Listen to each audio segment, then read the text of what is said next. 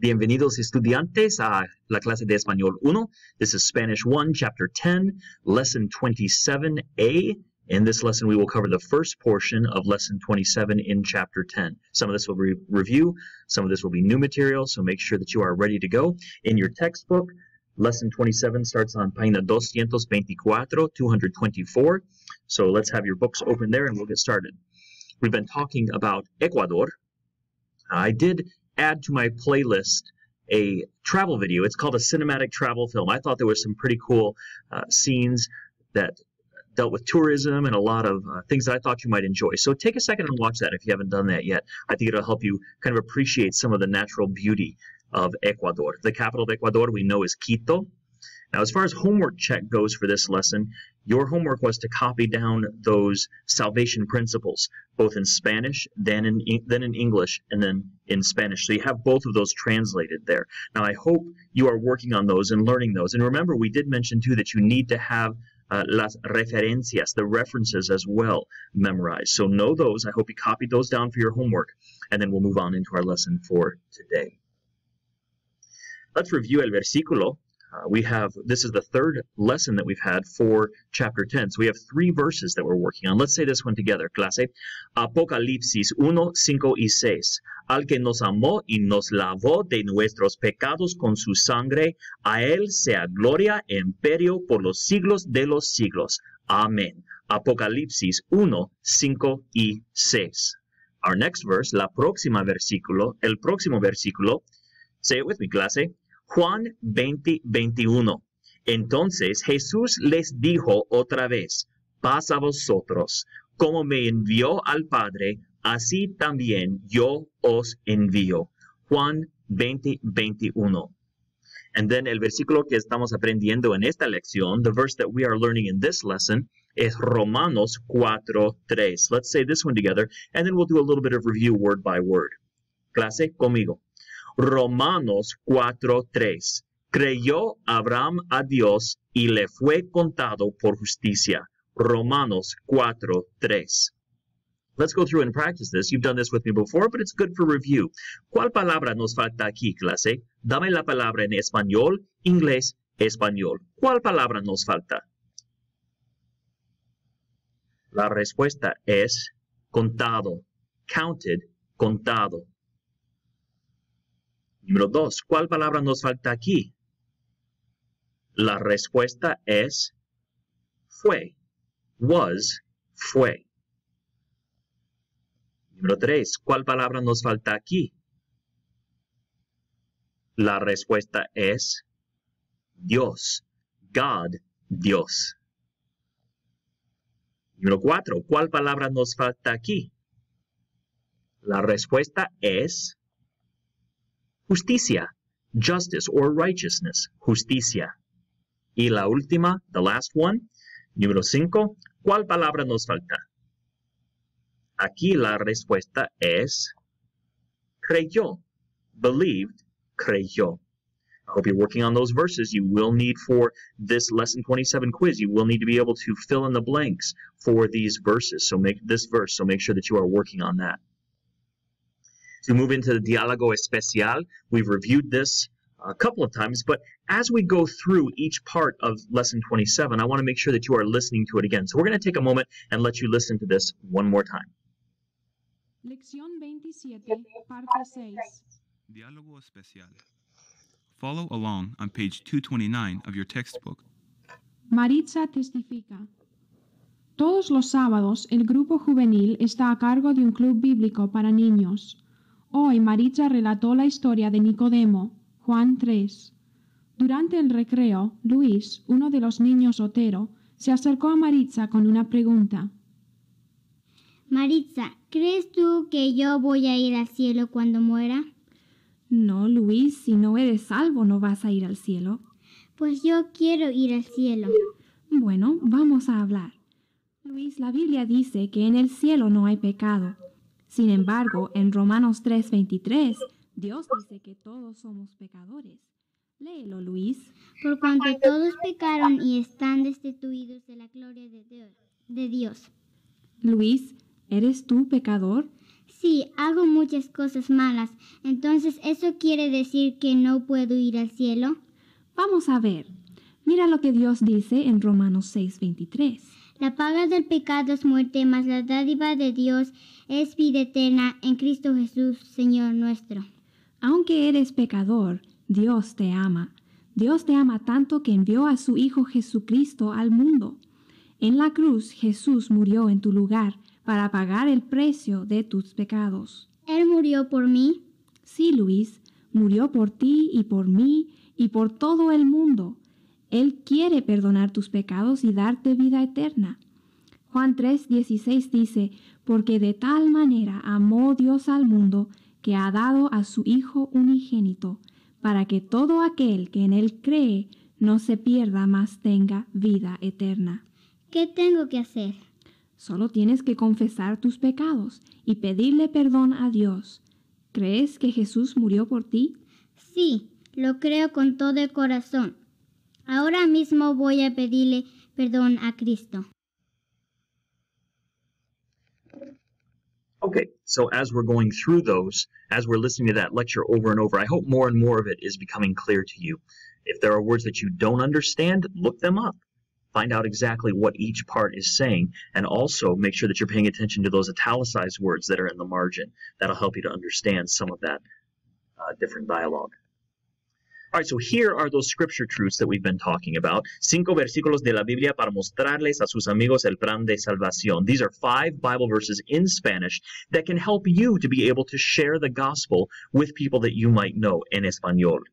Número uno, I want you to say the principle in Spanish, then English, then Spanish again after me, clase. Soy pecador, I am a sinner, soy pecador. No puedo salvarme a mí mismo. I cannot save myself. No puedo salvarme a mí mismo.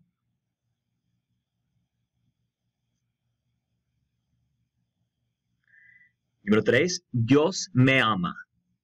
God loves me. Dios me ama. Número cuatro, Cristo murió por mí. Christ died for me. Cristo murió por mí. Y número cinco, si creo en Él, soy salvo. If I believe on Him, I am saved. Si creo en Él, soy salvo. And then, of course, make sure that you know those references that are listed right there for each of those salvation truths. Reviewing our pronunciation here. We'll go through this rather quickly because we've been working on it already. Che. Remember that che, two symbols, one letter. Let's practice a few of these words. This is a very English sound, so it shouldn't be too difficult for us to master. Repeat these words after me, clase. Pancho. Leche. Noche. Ocho. Derecha. Chévere. So those words use the ch sound, which is very similar to our English word church. So it shouldn't be a difficult sound for you to master. Let's take a look at this letter. This letter is in your textbook on 224, 224. And again, I just want you to follow along as uh, we listen to this letter being read for us. Lección 27, parte 2. Lectura. Follow along on page 224 of your textbook. Una carta de Quito. Quito, Ecuador, 30 de mayo de 1992. Mi querida Maritza, recibí tu carta del 12 de este mes y la leí con mucho interés. Echo de menos a todos mis compañeros del Colegio Luz de Vida. Aquí en Ecuador mi familia está bien, pero siempre pensamos en nuestras amistades de allá. Mis hermanos creyeron que el equipo de fútbol del colegio iba a ganar el campeonato otra vez. Fue una lástima que perdió. Nosotros fuimos al estadio el sábado pasado para ver un partido de fútbol. Vimos al mejor equipo de Brasil ganarle al equipo de Perú. Fue un partido emocionante. Nuestros vecinos, la familia Otero, son nuestros mejores amigos en Ecuador. Fueron muy amables con nosotros cuando llegamos a Quito. Muchas veces nos ayudaron. El señor Otero le dio a papá un mapa de la ciudad y le enseñó las tiendas, los bancos, la oficina de correo y otros sitios más. Pepe, Marisela y Luis nos presentaron a sus amigos. De vez en cuando mis hermanos y yo salimos con ellos. Ayer papá los invitó a nuestra casa para cenar. Queremos ganarlos para Cristo. Recuerdos a todos los compañeros del colegio. Con mucho cariño, Silvia. So that's just a quick letter from Silvia. I hope you caught a lot of what was in there. If not, again, look those up. But it's just a good exercise for us to hear uh, native speakers reading the letter, understanding some of the some of the lilt and the rhythm of the language. So it's good for us to listen to that. The grammar for this lesson, as we move into la gramática, we are on página 225 in el libro, 225 in your book, and we're still talking about the pretérito. Now remember, the pretérito is that past conjugation that occurred. It happened. It was an event or it took place. El pretérito de ir en ser. Ir is our verb that means to go. Ser is our verb that means to be. But remember, it's not location and it's not condition. It's everything else. So ir and ser are very interesting in español porque los verbos son muy similares, son identicales. They're the same. They are conjugated the same way in el pretérito. Uh, las formas del verbo ir, clase, yo fui, tú fuiste, usted fue, nosotros fuimos, ustedes, ellos, ellas fueron. And ser, to be, is the same conjugation. And you see that here right across the page. It's the same conjugation for ir and ser. Fui, fuiste, fue, fuimos, fueron. Now, fortunately for us, these two verbs are different enough where we can tell which verb is being used based on context. Ir means to go, and ser means to be. So the verbs are very, very different in the context how they're used. Let's look at the sentence down at the bottom of this slide. La, uh, the preterite forms of ir and ser are just the same. So it depends on the context. I know one thing that I hope you're noticing right away. This is something that we've talked about repeatedly with the verb ir, is that it is almost always followed by a. Fui a Bogota. You see how that one's used right there. I went to Bogota. That a is a big clue that we are using ir and not ser. Look at the example right across the column. Fui estudiante en Colombia. I was a student in Colombia.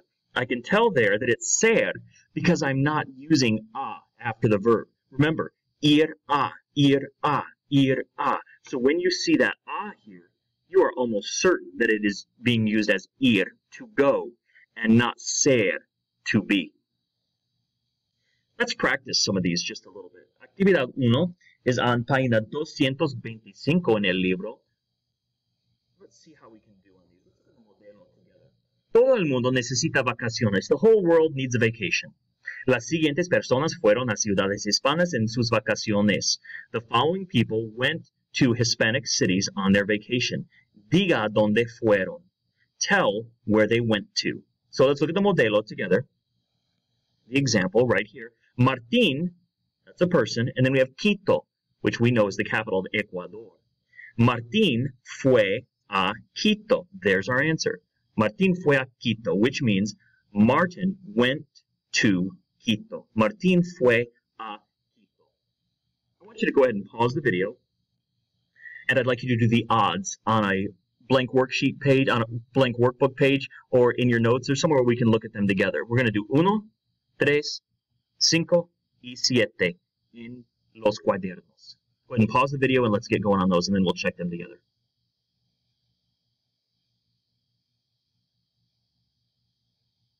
Right, I hope those went well for you. Let's take a look at your answers. Make sure before you continue that you have finished that activity so that we can check your answers together. As always, remember, if you don't have correct answers, go ahead and mark those corrections in red. That way you can ask about what you missed so you know why you missed what you missed. Let's look at numero uno together. Ramona fue a Lima. Ramona went to Lima. And you can see here we've got that a because we are using fue as ir. Número tres. Tomás fue a Santo Domingo. Tomás went to Santo Domingo. Número cinco. Yo fui a Caracas. I went to Caracas. Número siete. Paco y yo fuimos a Asunción. Paco and I went to Asunción. So check those answers, and again, let me know if you have questions so we can make sure that you understand why you missed what you missed. Actividad 2, as we continue practicing, Actividad 2 is going to be over on página 226, 226, answer the questions. Now, your answers are going to be quite a bit different uh, depending on what day you're watching this video, but let's try this together so we can see um, what we're doing. So just answer the questions. Let's answer them. Let's answer them in complete sentences, but do this on a blank area in your workbook so we can check it together. Let's have you do números uno, tres, y cinco. Go ahead and pause the video, get that activity done, and then we'll check it together.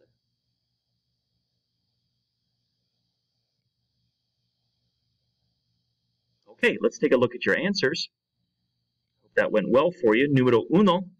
The question was in número uno, ¿qué día fue ayer? What day was yesterday? So the answer for número uno is right here. Ayer fue, and then you would need to have the day of the week. Ayer fue domingo. Yesterday was Sunday. Ayer fue lunes. Yesterday was Monday. Ayer fue martes. Yesterday was Tuesday. So make sure that you have the day of the week, whatever day yesterday was for número uno. Número tres, the question was, ¿A qué hora fue tu clase de historia ayer? Remember that expression, ¿a qué hora is at what time. So it's asking for a specific clock time. ¿A qué hora fue tu clase de historia ayer? At what time was your history class yesterday? Well, I guess it depends on when you had your history class yesterday, obviously. Everybody's time is going to be different, but we want a clock time here. So número tres would be, let's say you had your class yesterday at 2 p.m.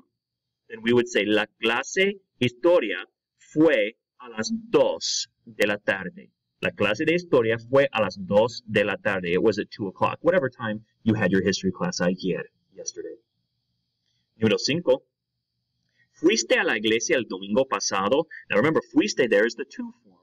So it's asking, did you go to church last Sunday? El domingo pasado is last Sunday. Did you go to church last Sunday? So, número cinco, sí, fui a la iglesia el domingo pasado. Or if you weren't able to go to church last Sunday, then you would say, no, no fui a la iglesia el domingo pasado. Again, make notes of the ones that you didn't get correct or that you have questions on. That way we can make sure when we meet together that you understanding why you missed what you missed. Let's move on to actividad tres. Actividad tres. Read the following paragraphs. Uh, tell whether the word, each word in bold print is the preterite tense of ser or ir. Now remember, we talked about some specific clues. Remember that ser will be followed by things like physical description, characteristics, time. Ir will almost always be followed by a, which tells us that it's a destination. So take a second, look through those, and then I want you to tell me of the bold verbs that are in the paragraphs, is that ser or is it ir? Go ahead and do these on a section in your workbook. Let's get those marked and we'll come back together and check your answers.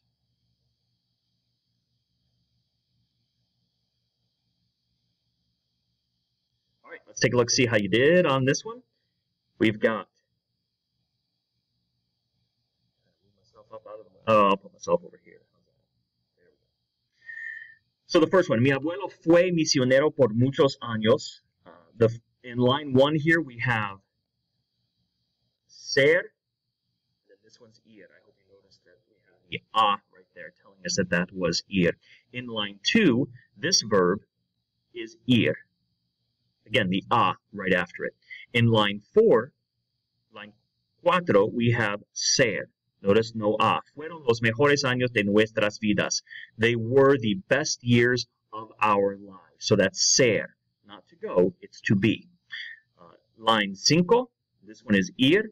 Fuimos a visitar. We went to visit. Line siete, we have two of them. This one is ir. Notice um, this one's a little bit different. We'll come back. We'll come back to that one. And this one is ser. Let's check this one for just a second because this one doesn't exactly have the it doesn't have the ah that I told you to look out for with this form of the verb. So how did we know this one was ir when we didn't have that ah there? Well, here's how we did it. Look at the translation. Fuimos en barco. We went on a boat. Obviously here, this isn't saying we were a boat. So it's not going to be ser. It's ir, to go. We went on a boat. And in the last line, line 8, this one is in 1960, un misionero fue para vivir con ellos. He went in order to live with them. So again, the ir a ah, will get you most of the time. but make sure as well that you're looking at the context to make sure that you know whether this is ir or ser. Again, if you have questions on these, let me know. Let's look at actividad 4. Actividad 4 en el libro.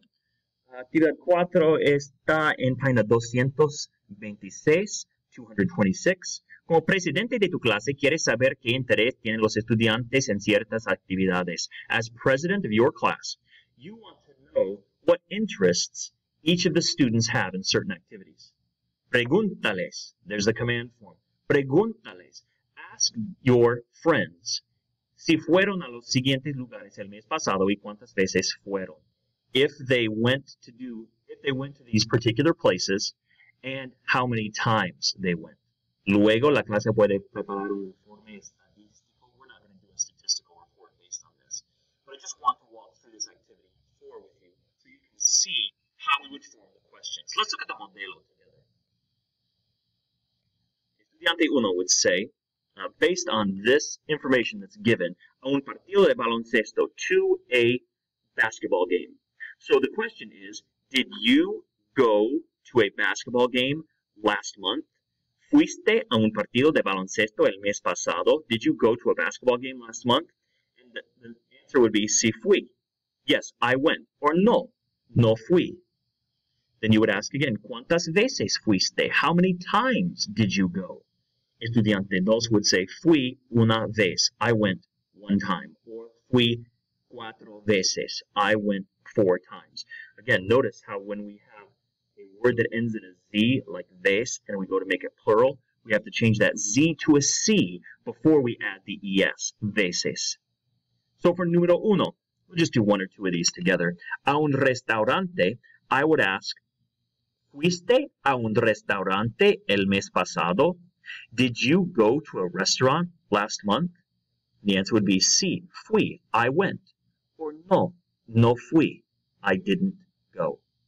¿Cuántas veces fuiste? How many times did you go to this restaurant? ¿Cuántas veces fuiste?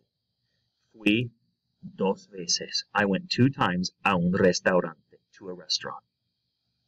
Número tres, a un partido de deportes. Why don't you write the question for estudiante uno, estudiante dos, y estudiante tres, estudiante uno y. Write this whole conversation back and forth, just as it's done in the model. And let's just have you do número tres. Go ahead and pause the video. I want you to write this in your workbook in the space that you have. Write the entire conversation for número tres.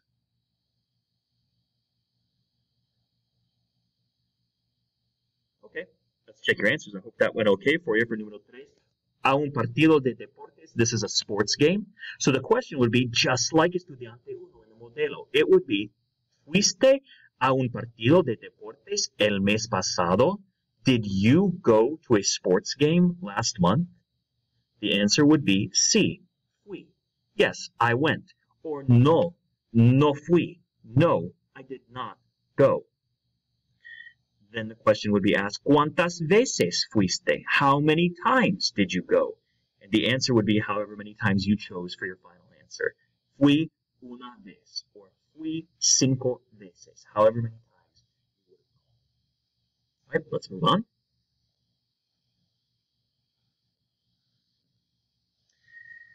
Two more verbs we need to talk about in the preterite tense. And again, remember, we're still talking about the preterite. That's the past tense. Um, dar and ver are similar, but they're a little bit different. Unlike ir and ser, which are identical, dar and ver are just a little bit different. Let's go through the forms for these. Remember that dar is to give, and ver is to see. Dar to give, ver to see. So look at these conjugated forms and notice how they're really similar, but they're a little bit different. So for dar, di, diste, dio, dimos, and dieron. I give, or I'm sorry, I gave. It's past tense, remember. I gave, you gave, he, she, or you gave, we gave, you all gave, they gave. This is the conjugated forms of the verb. Yo di, tú diste, usted dio, él dio, ella dio, nosotros dimos, ustedes dieron, ellos dieron, ellas dieron. Make sure you know those conjugated forms we'll practice with those in just a bit. And then right across the column, let's look at the conjugated forms of the verb ver. That's to see. Yo vi. Tú viste. Usted vio. Él vio.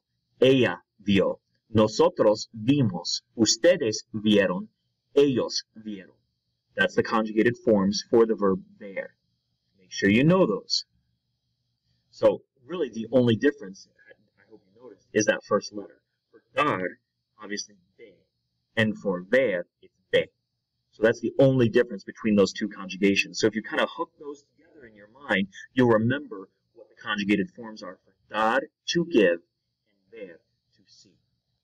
Let's practice just a little bit with these, and I keep putting the answers out there for you when I'm supposed to. Don't look. All right. You got a freebie on that one, guys. Let's take a look at these questions here. Actividad 5. Actividad 5 is on página 227. Roberto recibió muchos regalos en su cumpleaños. Roberto received a lot of gifts for his birthday. That's a good thing. Diga que le dieron las siguientes personas. Tell what the following people gave him. So we're going to look and see what the presents are that Roberto got for his birthday. Let's look at the modelo together. Anita, this is the person who came to the party and gave him a gift. So Anita gave him un sombrero. Anita gave him a sombrero. So that's what we're looking for in our Spanish response here for the modelo. Anita le dio un sombrero. The le here refers to him, or Roberto, the birthday boy. Anita le dio un sombrero. Anita gave him un sombrero. I'd like you to pause the video and do one, three, cinco y siete. Uno, tres, cinco y siete. And then we'll check those in just a second. All right, those went well, for you. I already showed you these answers by mistake just a second ago, so hopefully you got these right. Número uno, let's look at it together. Sus padres le dieron un reloj. His parents gave him a watch. Nice gift. Número tres, Marcos le dio unos calcetines. Marcos gave him some socks. Socks? Who invited that guy? Número cinco, yo le di una corbata. I gave him a tie. Yo le di una corbata. Y número siete, María le dio un pañuelo. María gave him a handkerchief. Okay, so odd presents there, but still we get to see the grammar for to give, the verb dar, in el pretérito. Let's quickly review. Di, diste, dio, dimos, and dieron. Make sure you know the conjugated forms for the verb dar. If you have any questions on this activity, make sure that you've got them marked in red. Then you can ask me about those when we are conferencing together.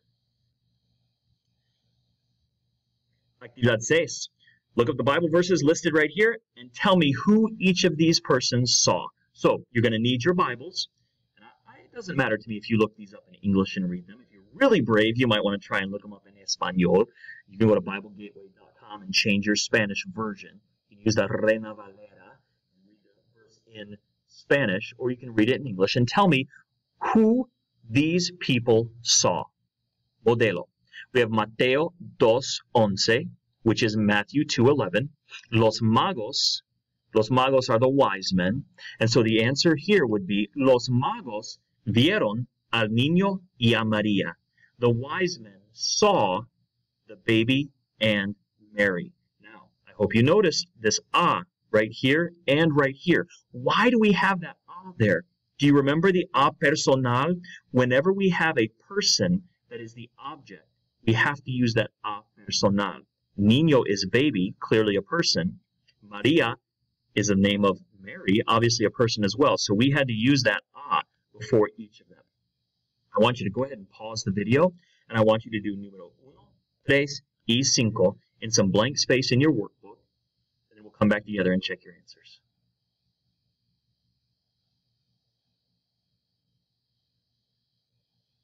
Okay, so for número uno, tres y cinco, we have Jesús vio a Zaqueo. Jesus saw Zacchaeus. Then número tres, we have Nebuchadnezzar, which is hard enough to say in English, but I'm going to try it in Spanish too. Nabucodonosor vio a varones, saw men. Número tres. Y número cinco, Pedro, Jacobo y Juan no vieron a nadie sino a Jesús solo. Peter, Jacob, and John saw no one other than Jesus alone. Okay? If you have any questions on those, make sure those are marked in red and ask me questions for those as well. And that does wrap up our lesson, chapter 10, lesson 27a. That's the first part of lesson 27 for chapter 10. Don't forget to check the lesson plan and make sure you get homework done for next lesson. Hope this was helpful to you. If you have any questions, please let me know. Adios, clase. Que Dios les bendiga.